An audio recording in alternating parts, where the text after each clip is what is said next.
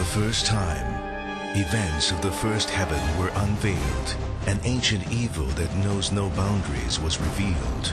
Available this Christmas from the series The Chronicles of Brothers, the saga of the three archangels, Michael, Gabriel, and Lucifer, continues to unfold in Wendy Alec's long-awaited sequel to The Fall of Lucifer, Messiah, The First Judgment. Available in Borders, Waterstones, and Christian bookshops across the UK now.